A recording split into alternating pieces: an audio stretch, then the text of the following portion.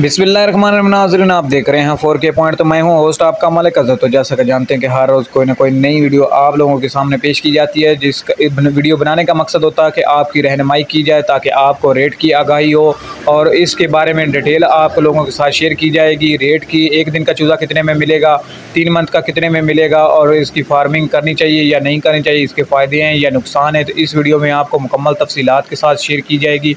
तो वीडियो आप लोगों को लास्ट तक देनी है। अगर वीडियो अच्छी लगे तो चैनल को सब्सक्राइब कर दें लाइक कर दें कमेंट कर दें।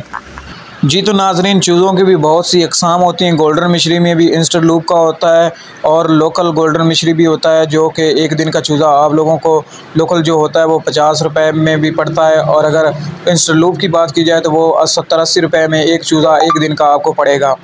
तो इस वीडियो को बनाने का मकसद यही है कि आपको आगाह किया जाए कि आपने किस ग्रेड का चूज़ा पालना है।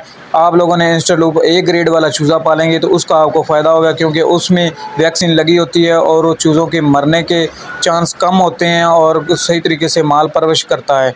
तो अब इसकी बात की जाए, तीन मंथ की, कि तीन मंथ का चूज़ा आपको जो गोल्डन मिश्री है वो बिल्कुल तकरीबन चार मंथ या पाँच मंथ में कंप्लीट हो जाते हैं तो तीन मंथ का आपको कितने में मिलेगा? और फार्मर की ये डिमांड है कि ये जो गोल्डन मिश्री है, हमने तकरीबन नौ सौ रुपये के जी के हिसाब से फ़रोख्त करनी है, और जब भी वो माल फ़रोख्त करेंगे, मैं उसकी वीडियो आप लोगों को तक लाजमी पहुँचाऊँगा।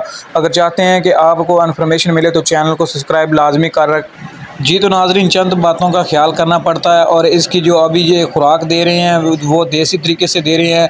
इसकी सरों ज्वार बाजरा, मक्की वगैरह ये मिक्स करके इनको फ़ीड के तौर पर खुराक दी जाती है और रोटी जो बच जाती है, वो भी इनको खुराक के तौर पर दी जाती है।